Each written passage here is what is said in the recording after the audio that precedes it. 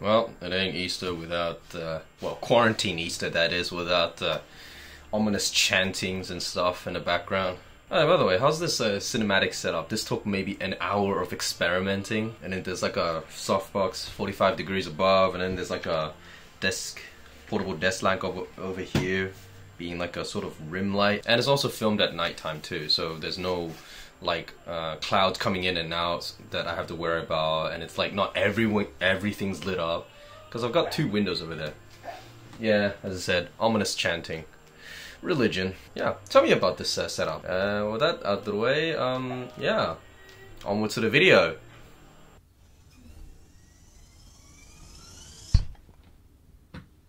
Greetings.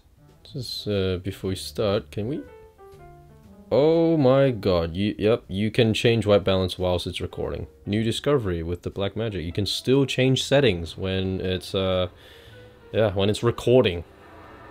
What is that sound? So something you would have noticed uh, around, particularly around this area of my face as of uh, late, is that um, it is more clean than usual, it's not acne filled. The reason as to why I'm so pimply around this area of my face in my 20s is, uh, well, simply because, um, genetics. Yes, runs in the family, yeah, but pfft, all my ancestors supposedly uh, they didn't stop having pimples until they reached their 30s. So, uh, so these are gonna stay. And as for why recently I don't have these, it's because I'm on medication right now. Prescribed medication that lasts for like three or four months. And then I assume after the medication runs out, these are gonna come back. And it's not just my face though, it's all over my uh, my torso as well. There was one particular nasty one that uh, I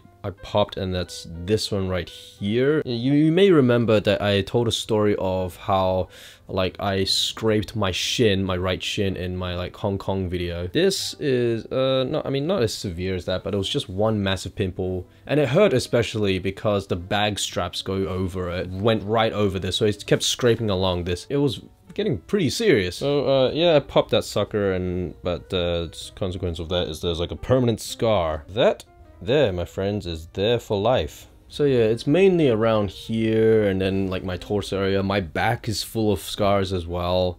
Uh, yeah, it's been a it's been a fact of life for me for as long as I can remember. So just like everyone else, these all started in the angsty teen years. Yeah, around 13 years old. Most people under normal circumstances, their puberty and their like hormones hormone outbreaks and the and the subsequent pimples they would die out when they reach around like my age earlier even but that has not been the case for me it's just continued at the same severity as it was when like in, in as it was in my teenage years really. So yeah i looked ugly. You can see there's like um all these yeah scars everywhere that's like permanent from like popping pimples and stuff. And yeah even my doctor's like you know you got to get these under control. You don't you don't want these to preoccupy your mind. The fact that i am thinking about it every once in a while when i should be think like putting my mind towards something else more productive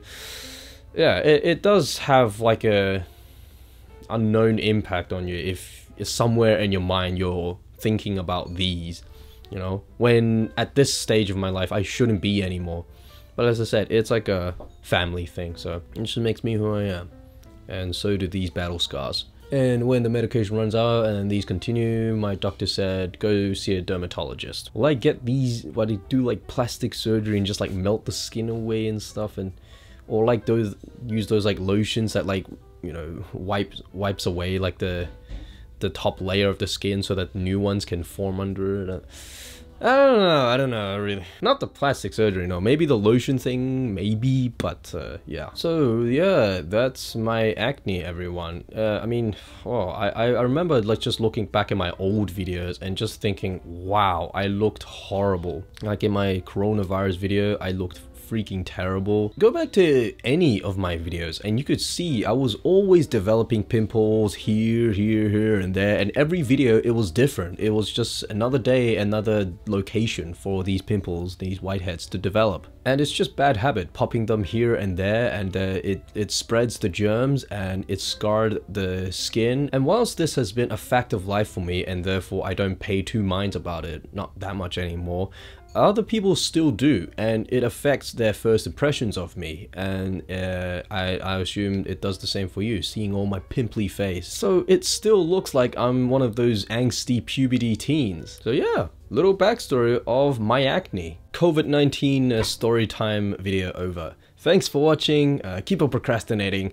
Wash your face as well as your hands okay? Keep those bacteria away. Try to avoid popping those pimples and uh, spreading that shit all over. Uh, yeah, because otherwise, this is what you get. That's the story of the day. So, uh, yeah, see you next time. Bye bye. They're playing organs now. Okie dokie. Dracula's Castle, anyone? From Castlevania?